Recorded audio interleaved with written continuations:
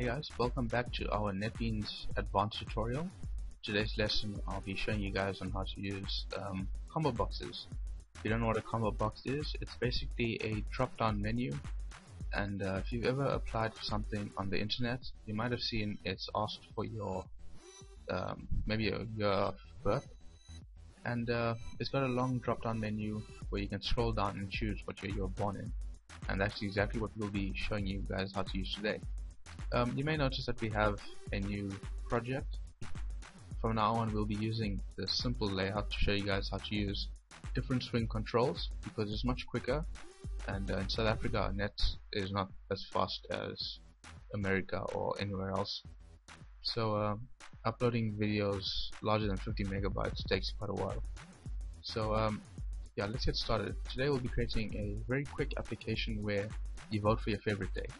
Um, obviously the winning vote will be Friday unless you are depressed and like Monday. Um, and if you are that's your that's your own thing. But uh, nevertheless we'll be creating a simple application.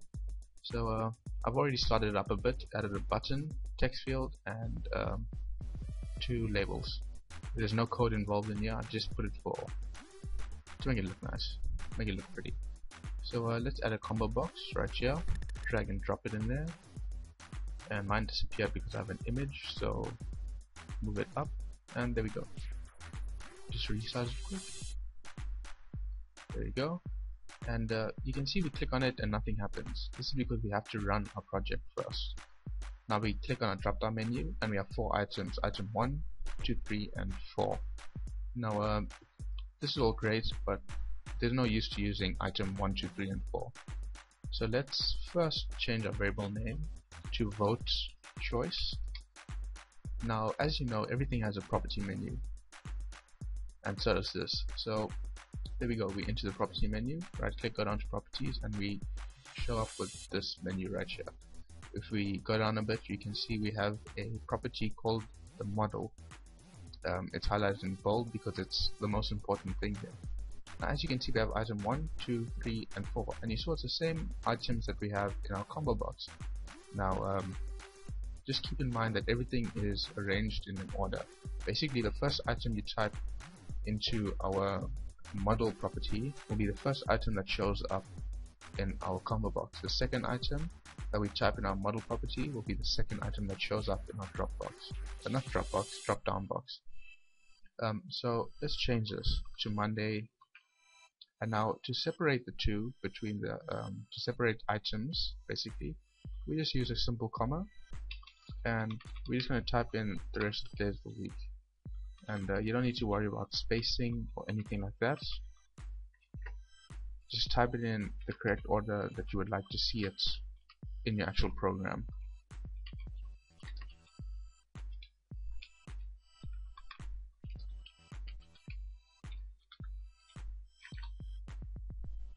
Okay once you're done you're just going to click on enter and there we go. It's already changed in our um, drop down menu. And you can see Monday, Tuesday, Wednesday, Thursday, Friday, Saturday and Sunday. Now keep in mind that you are not limited to the number of items that you can use.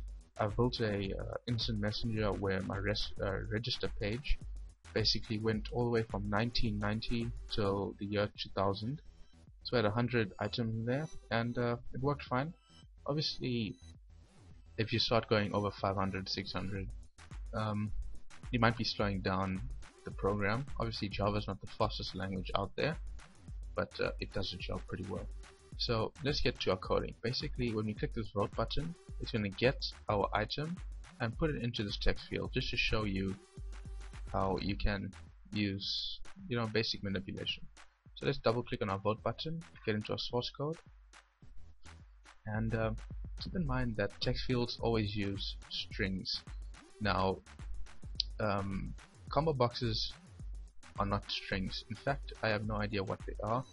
And if someone out there does, please leave me, leave me a, a comment telling me what it, what exactly is it is. It might be a character or something.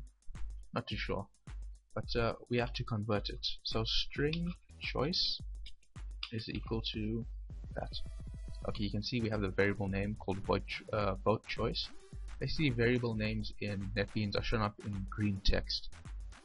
as you can see right there and now we have another new function of uh, Java NetBeans API called .getSelectedItem. It's very similar to .getText except in um, combo boxes we use items. These things are called items and a selected item is basically the, the one that pops up on the top here.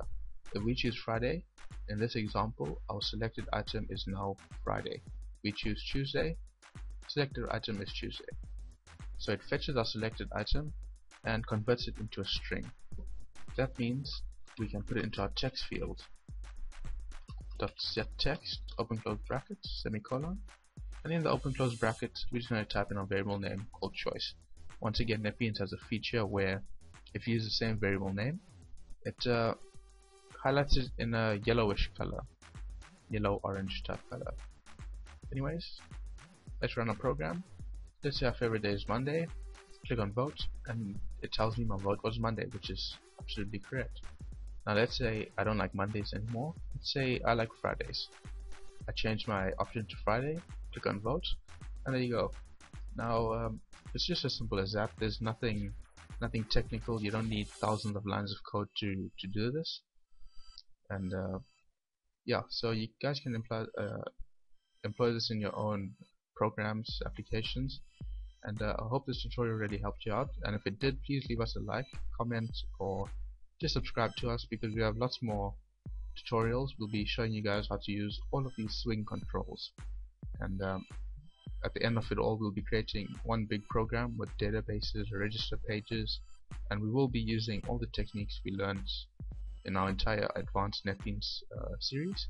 So um, please subscribe and my partner will also be doing custom made NetBeans features. Uh, it sounds very high-tech but it isn't and it's uh, things that you'll only find professional teams using. So uh, please stay tuned for that and as always thanks for watching